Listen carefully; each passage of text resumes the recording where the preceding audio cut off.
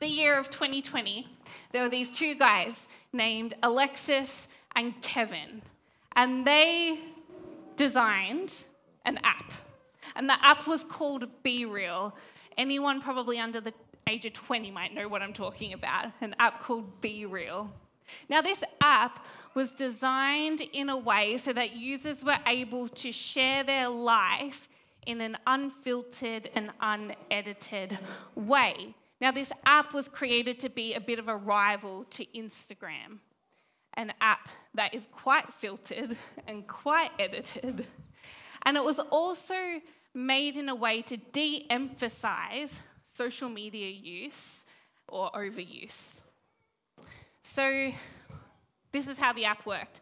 Once a day, randomly throughout the day, the app would alert its users that it was time to be real.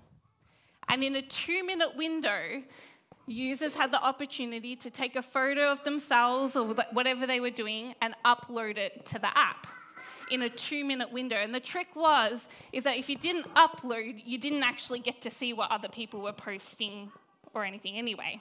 So no matter whether you were sitting at school in a class, maybe you were at work, maybe you were on the toilet, whatever it was, in that two minute window, you had to take a photo and upload it to the app. And then for the next 24 hours, you'd be able to look at all the other different things that people were being real about um, until the next alert was sent. So the app grew in popularity. And in 2022, the app peaked at having 15 million users worldwide. It became number one on the App Store for a time. And in its peak, it was estimated to be worth 600 million US dollars.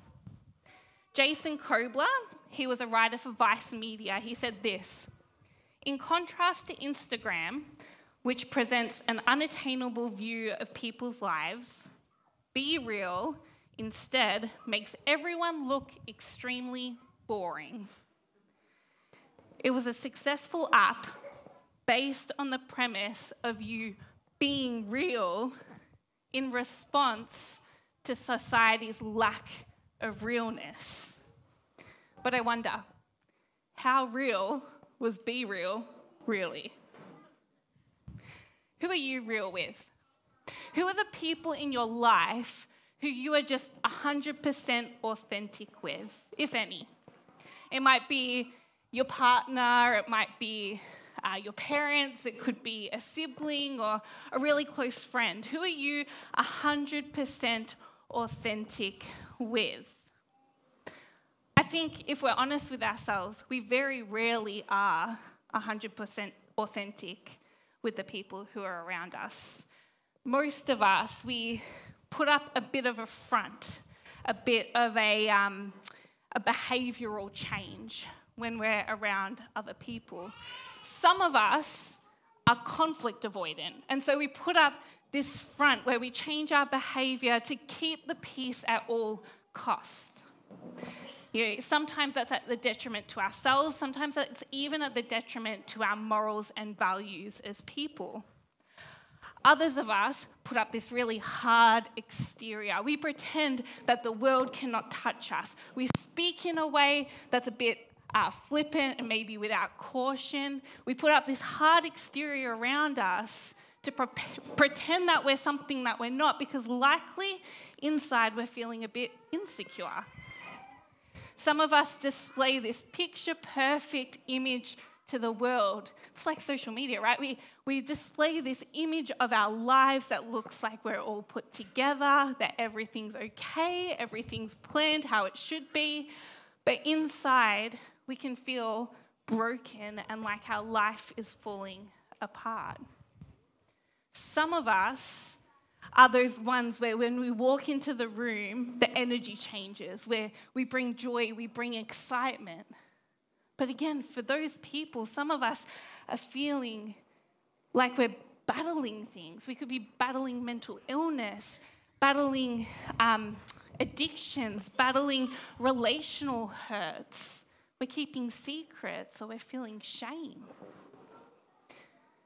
Does anyone really know you authentically?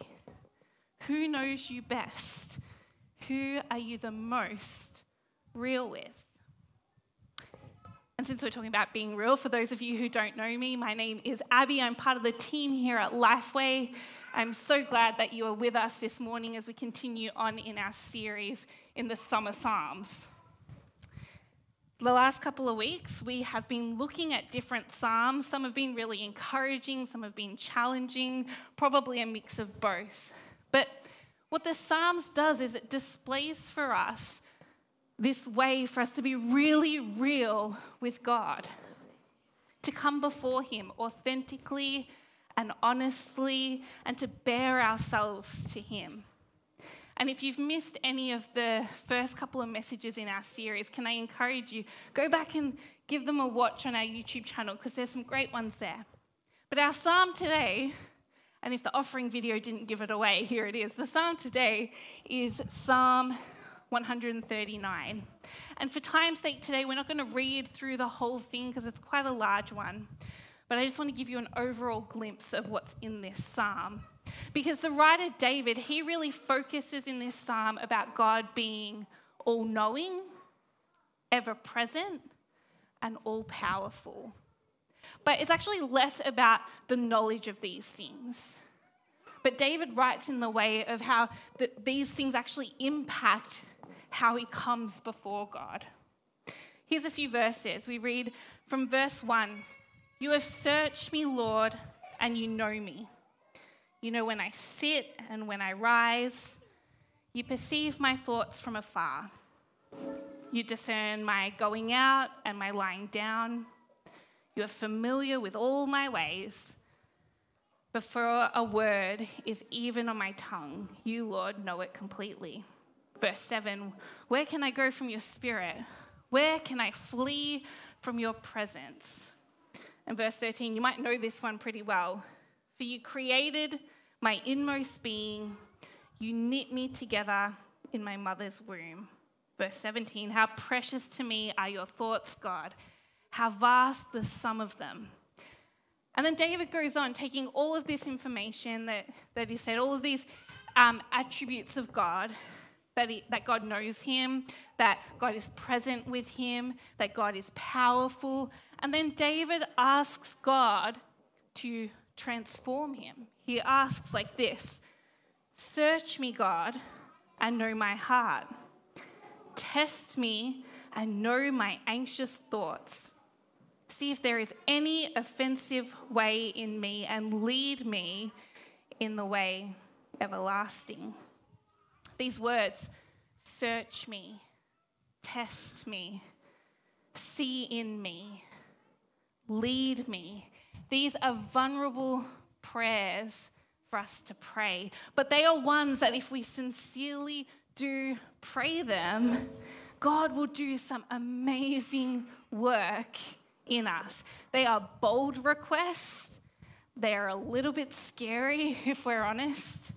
But the aftermath of what will likely be confronting and likely uh, we'll have some work to do. The aftermath of working through all those things, there can be so much fruit. So much fruit can come from being refined by God, and He can transform our lives when we do that. Search me, test me, see in me, lead me. These are four vulnerable prayers, and we're going to focus on those today. So, what do you think it means for us to ask God to search us?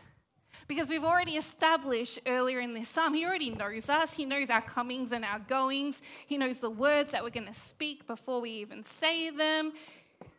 We already have established all of these things. So, why do we need to ask God to search our heart?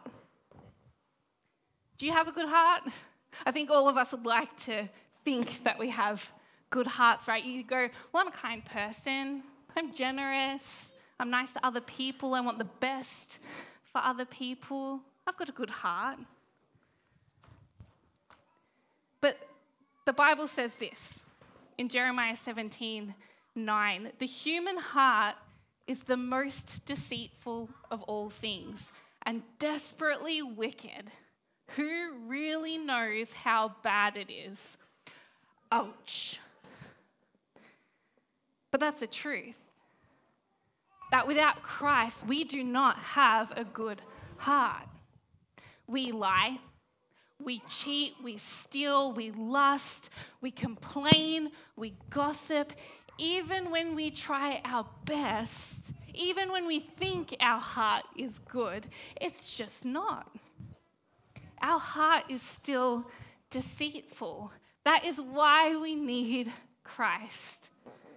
Not just to forgive us, but to transform our hearts. This last week, uh, I was honored to be invited to speak at a youth camp over the last couple of days in Williamstown. And as part of this camp, we were looking at the topic of what does it mean to be a follower of Jesus? What does it mean to give your whole life to Him, to dedicate your whole life to Him? And we talked about the difference between being a follower of Jesus and simply just being an admirer of Jesus. Because we can think of admirers being like this admirers look at Jesus and they might think, hey, Jesus is pretty cool. I like some of the things that he says. I like some of the things that he asks us to do, but I'm only going to take on the bits that are convenient and comfortable for me to do so. That's admirers of Jesus. It's like this my husband Rob and I, we uh, are going to be celebrating our 10 year anniversary this year. I know, fit. Um, he's put up with me for that long, bless him.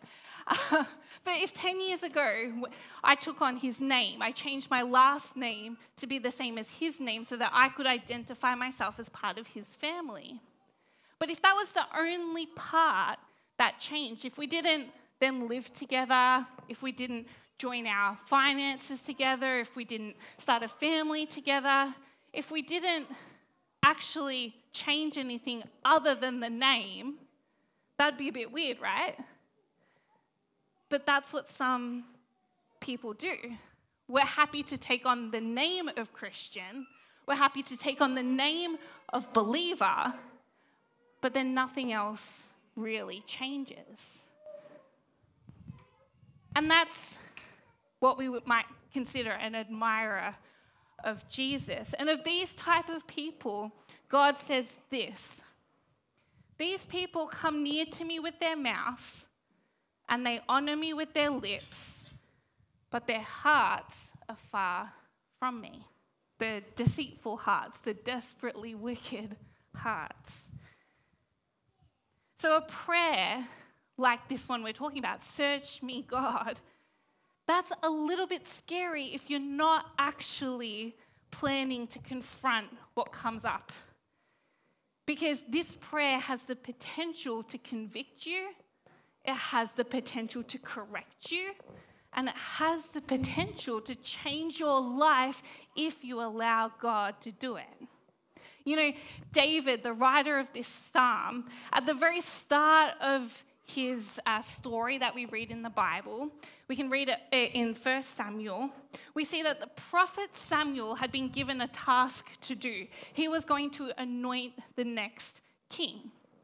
And so Samuel's turned up and he's looking at the people who he might, might be the king. And God says to him, Do not look on his appearance or the height of his stature, stature because I have rejected him. For the Lord sees not as a man sees. Man looks on the outward appearance, but the Lord looks on the heart. And God chose David. God chose David based on his heart. And there was heaps of times that we read where David got it wrong, right?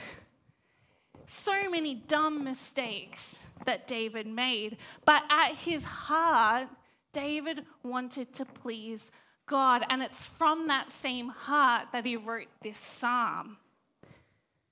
So, what might happen if you pray this prayer, search my heart? Well, in my experience, God will put before you some hard truths. He will illuminate places in your heart that are actually far from His heart. You'll be faced with your sinfulness, you'll be faced with your brokenness, and you'll be faced with your need for forgiveness. And I want to believe that us as people who call ourselves followers of Jesus, that we would continue to want to be refining our heart to be more like Jesus' heart. That we won't settle for being this one foot in, one foot out type of Christians. We can't have one foot in and one foot out when it comes to our faith. So, dealing with our deceitful heart is, import, is an important part of truly living for God and truly following in His ways. Unfortunately, this prayer alone is not the cure. We can't just pray, Search me, God, and expect everything to be better. It's not an all of a sudden thing. But in facing the reality of our sinfulness, we become more aware of our need for a Savior. And then we can rest and draw close to Jesus, make choices that reflect more of His heart. And through that process, our heart can be transformed to look more like Jesus in the process. Search me and know my heart. And the second prayer, test me and know my anxious thoughts. I wonder what is it that makes you anxious or stressed or nervous? What is it that keeps you up at night? Those thoughts that you keep mulling over. It might be the fear of losing your job. It might be that question of how am I going to pay the bills this month? It might be a fear of whether one day you might get married or a fear of you being stuck in a marriage that's not good at the moment. Maybe it's anxiety around whether you might have children one day. Or maybe as parents, we're looking at our children going, How do we do this? And that brings up anxiety. Maybe it's health things, stress around your own health or the health of someone around you. What are you most afraid of? What fears alter the way that you live your life? You know, as part of preparing this message, I had to get real with myself too. I had to ask this question of myself. And I came up with this I have a fear of failing. I have a fear that if I let any balls drop, if I let anyone down, I am a failure. And I see this in a lot of different ways in my life. I need to tick things off lists. I need to I feel productive, and this contributes to how I perceive my worth. People being happy with me, people being happy with what I'm doing, I, I equate that to my worth. And I don't want to fail. So, therefore, it's made me trigger shy. It stops me from stepping into places that are uncomfortable. If I can't be sure that I can control it, I'm more hesitant to step in those, those places because I don't want to fail and I don't want others to think of me as a failure. You know, my dad tells this story of me. I was five years old and a couple of days out from going to my first day of prep.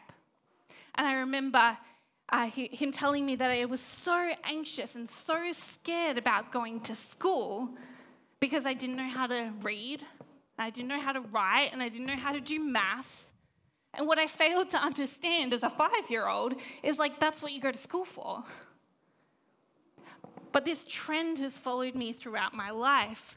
And I, I think then I have uh, gone through this journey of trying to find out as much about myself so that I can get on the front foot. You know, I've done this journey of self development and improvement. So I've learned myself learned about myself through personality tests. I've done leadership training, I've sought mentors, all of this just to try and keep control. What I failed to understand was that this is a normal part of living life. Failure is normal and failure is okay. I don't always have control over things. And I, what I realized was that in my attempt to hold it all together, I was seeking after a control that wasn't mine to have. That in seeking control, I wasn't seeking God.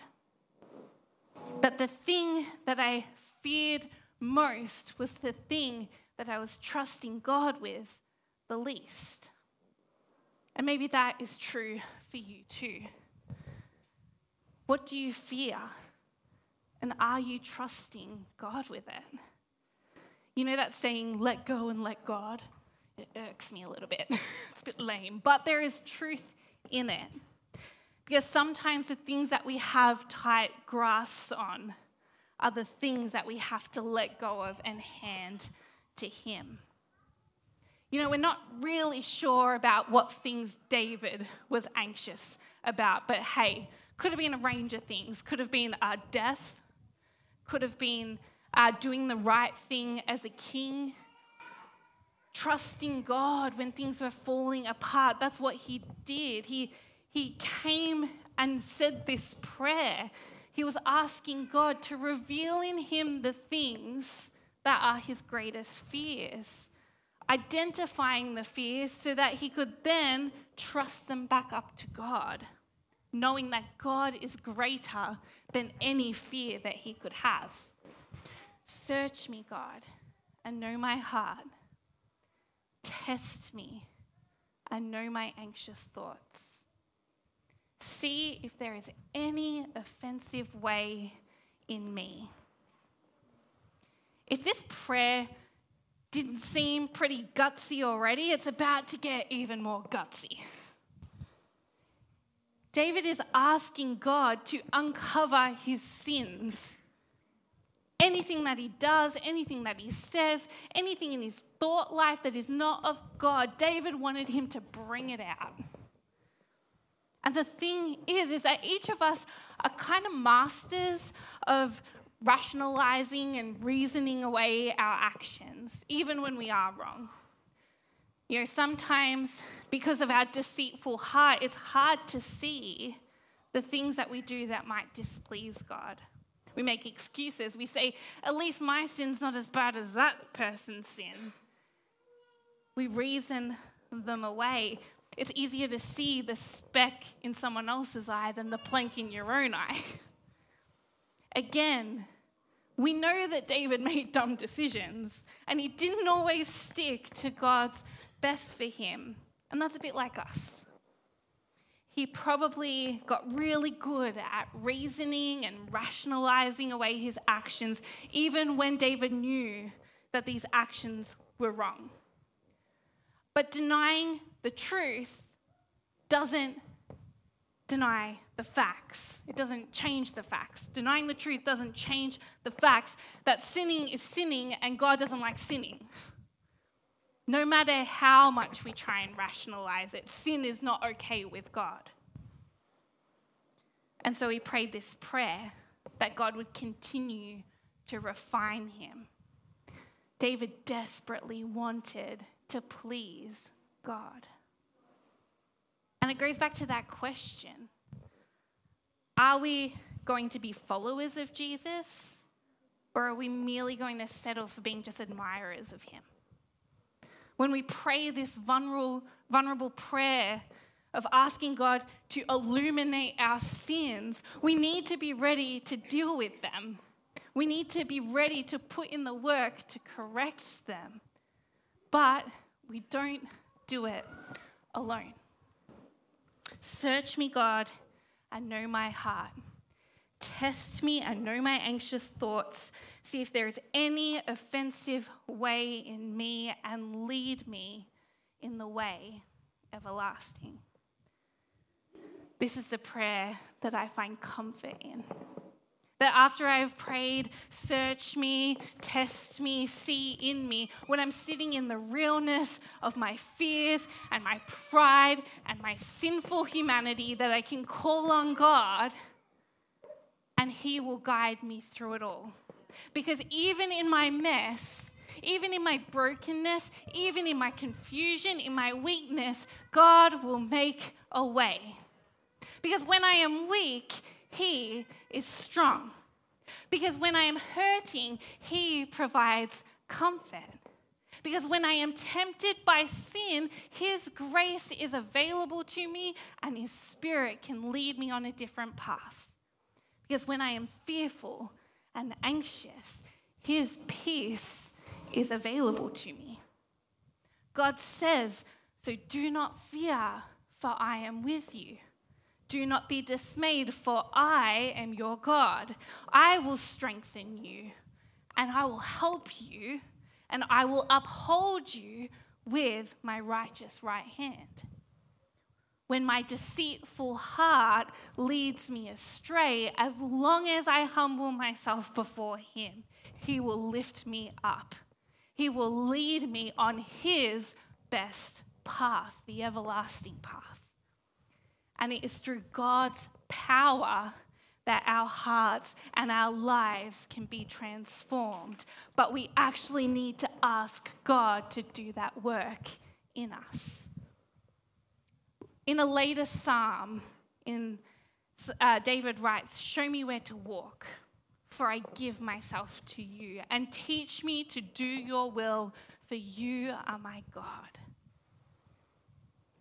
When we give our lives to God and submit under His leadership and His authority, God will guide us. And He does that in a few ways. He has given us His Word, our Bibles, which is full of guidance and encouragement and direction for living. Open them up, read them. He has given us communities to gather together to help keep ourselves accountable, to share our struggles with each other so that we don't face these things alone. He has created us in a way that has a conscience and He has gifted us with His Spirit so that we can discern the right path that leads us to a life more like Jesus. And it's important for us to be reminded that God lavishes his grace upon us. He knows that we won't always get it right. He knows that sometimes we will go off the path. But admirers of Jesus tolerate sin, but God does not. And true followers of Jesus will strive to remove the temptation of sin by seeking God's strength seeking God's guidance, seeking God's power so that He can lead us towards the best path. Search me, God, and know my heart. Test me and know my anxious thoughts. See if there's any offensive way in me and lead me in the way everlasting. We have a choice. We can settle for being admirers of Jesus and just take the parts that are comfortable and convenient for us. Or we can devote our whole lives to Him, our whole lives, our heart, our soul, everything to Jesus and to walking in His ways. We can take seriously the call on our life that God has intended for us, to draw close to Him, to pursue relationship with Him, to live in the fullness of God. Or we don't. And we miss out on the ultimate life that God has for each of us. But God doesn't want us to have a one foot in, one foot out type of faith. God wants us all in. Are you all in? Are you surrendering your whole life to Jesus, or are you settling for being an admirer, just taking the parts that suit you? So, if we choose to pray this prayer that David, David did from Psalm 139, we need to do so expecting that God will deliver. He will shine His light into the dark places of your heart. He will make real to you the parts that He wants to refine off your character. God will speak in the conviction of our hearts. He will put people in our lives who will speak wisdom and truth into our situations, and He will redirect you if you read Scripture. And hey, it is not always fun to come face to face with your sin. He may show you things that you're not very proud of, but He loves you too much to let you be stuck there. But there is so much grace, so much grace. The Lord said to the Apostle Paul in 2 Corinthians, My grace is sufficient for you my power is made perfect in your weakness. Therefore, I will boast all the more gladly about my weakness, so that Christ's power may rest in me. God's grace is sufficient for you. And then Paul says, I will boast gladly about my weakness because Christ's power rests if you are stuck in sin, if you are feeling so deep in it that you can hardly see a way out, if you are feeling weak, continually, continually coming against your life, God is saying it's in my power that there will be breakthrough. Breakthrough of addictions, breakthrough of when our thoughts spiral, breakthrough of the lies that we tell ourselves, breakthrough of difficult relationships, breakthrough of bad attitudes, breakthrough of pride and self preservation, anything in your life that is not of God, God can break through. If you call on Him and allow Him to. Seek God, draw near to Him, humble yourself before Him, be real with Him and then listen for His leading and allow God to transform your life. In a moment, I'm going to invite you to pray this prayer with me. But just know whatever God brings up for you, you are not alone. If you need to reach out to one of the pastoral team, we'd be more than happy to go through this with you. Ask for support amongst your people, amongst your life groups. You do not have to do this alone. Search me, God, and know my heart. Test me and know my anxious thoughts. See if there is any offensive way in me and lead me the way everlasting. Are you ready to pray a vulnerable prayer? just as David did? Are you ready to humble yourselves before God and be open to his leading? Are you ready to be pulled out of your complacency and your comfort and go through the refining process to be more like Jesus? It is not easy, but God never promised easy. However, living in the fullness of what God has for you, in His perfect plans for you, in living in obedience and truth, he will bring joy, He will bring peace, He will bring comfort into our lives as we continue to go deeper and deeper in our relationship with Him. So, may I invite you to stand for a moment. And if you'd like to pray this prayer with me, perhaps you might just open your hands up as you pray. Father God, we thank you that you are an all knowing, all powerful, always present in our lives, God. You know us so deeply, even the parts that we attempt to hide from you, Lord. Thank you for your grace, Thank you that you show mercy towards us even when we don't deserve it. Thank you for your generous, generous grace, God. And God, today we humbly come before you and ask, maybe for the first time, maybe for the first time in a long time, will you please, God, search us? Illuminate every part of our hearts so that nothing is hidden. Test us on the things that we're anxious about, the things that we haven't surrendered over to you, Lord. Help us release our grip on those things that we find hard to give over to you. Lord, our finances, our children, our relationships, our hopes, our own dreams, Lord. God, help us lay them down at your feet. Lord, you see the sin in our lives. Nothing we do is hidden for you. But we don't want to be caught up in sin, God. We strive to be more like Jesus every day. Please, God, help us not to get away with the sin in our lives any longer. That through your power, we will overcome the chains of sin in our lives. Lord, we understand that nothing that we have done and nothing that we can do will ever separate us from your love and from your grace. Lord, we seek your forgiveness.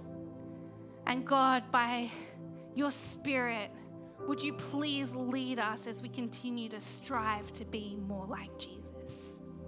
Create a hunger within us to seek you intentionally through your word through the encouragement of the fellowship that you have us a part of. May you continue to lead us. And Lord God, may this prayer be one that we are continually bold enough to pray so that we don't become complacent, that we would always be opening to your refining, God. Lord, we love you. May you have your way in us. Not our will, but your will be done, God.